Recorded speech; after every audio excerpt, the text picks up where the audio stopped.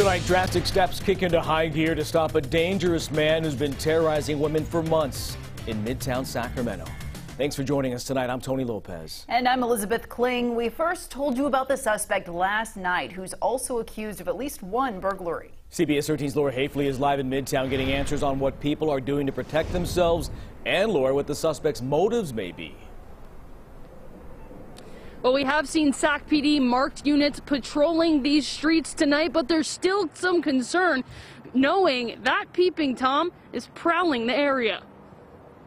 People living in Midtown are taking extra precautions after multiple women say they've been targeted by a serial prowler. I can't put it into words of how awful and terrifying it is. The suspect has been seen peering into women's windows late at night for several months. He's also accused of breaking into Alicia Alvarado's apartment this week when she was in the shower.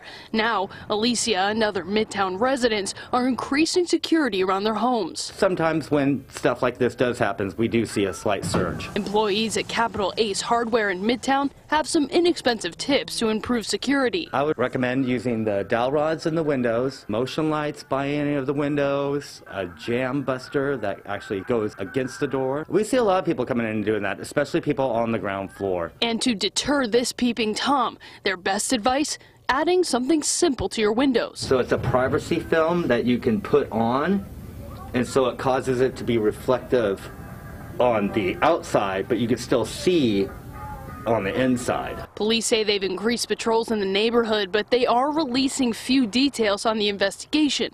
The escalation in his actions is concerning to forensic neuropsychologist Dr. Judy Ho. A lot of people who are peeping toms, they derive a type of sick pleasure from making their victims feel afraid. One CBS 13 viewer has even offered to help pay to relocate the victims until the suspect is caught, but Alicia says she's not leaving. I feel like I shouldn't have to move because this shouldn't be continuing to go on. I don't want to leave. I love Midtown.